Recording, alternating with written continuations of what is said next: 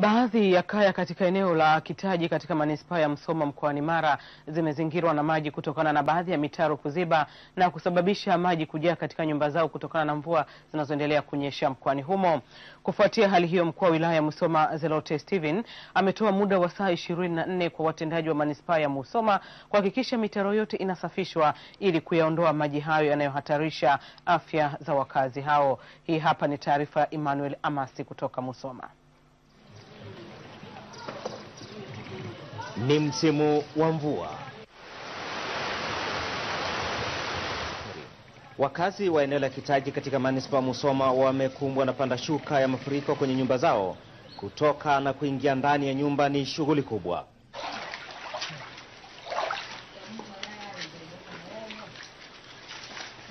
Watoto nao wanacheza kuzunguka nyumba kwa sababu uwezo wa kwenda sehemu nyingine kufurahia michezo haupo tena. Hakika mwenye nguvu mpishe.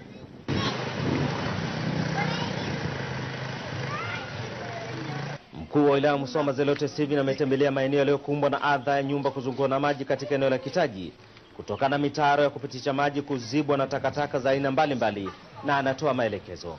Hapa kinachotakiwa ni logistics zake, maana ya koleo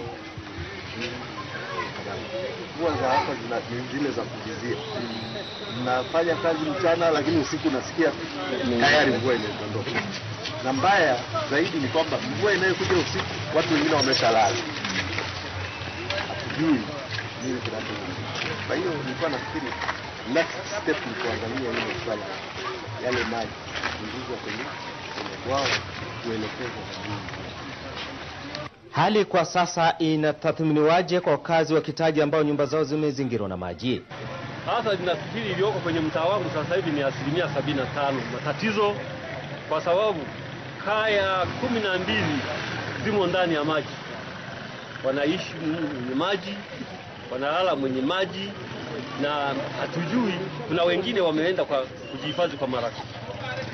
Mkakati wa manispaa Musoma wa kukabiliana na tatizo la mitaro kuziba, hasa mtaro unaotoa maji kwenye bwawa la Kitaji upoje?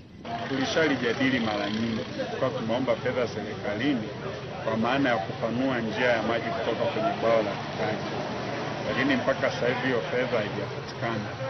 Lakini pia kwa ajili ya kuboresha mazingira ya Kitaji kuna fedha ambayo tulikadiria, tulikuwa tunaomba liveni zaidi ya shilingi milioni mia tano na tulikuwa tumewekeana mikataba, lakini jambo la kusikitisha kwamba fedha ilichelewa kuja kutokana na tathmini ya athari za mazingira. Watu wa NEMC walichelewa kutoa tathmini, kwa kuanzia mwezi wa saba au mradi tunategemea kwamba tutautekeleza.